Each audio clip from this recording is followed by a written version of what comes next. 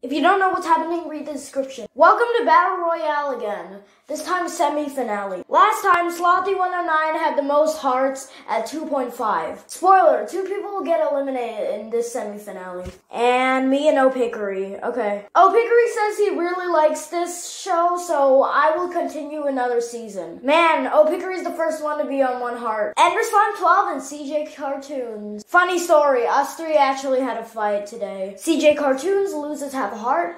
CJ Cartoons is the second one to have one heart. EL Ultra and Opickery. Okay, let me get to the point. EL Ultra loses half a heart.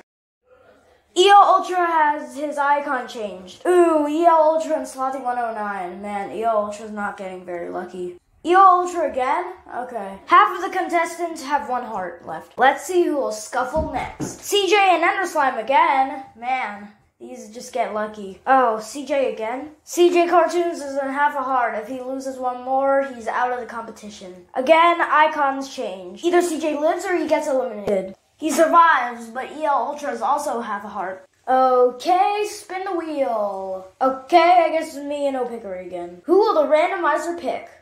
Okay, I guess the randomizer picked me. Yay, my icon changed. Well, I mean, it's not for the better, but whatever. Event, three-way fight, aka PvPvP. This time, two characters lose half a heart. CJ Slothy and EL, nice. Let's see who will win. Oh, oh my god, guess what that means. Slothy got a double kill. Man, CJ's not gonna be happy when he hears about this. Since Slothy got a double kill, his icon changed. And now he has 1.5 hearts, so his icon changed yet again. That's all the battles for this round. See you in the finale.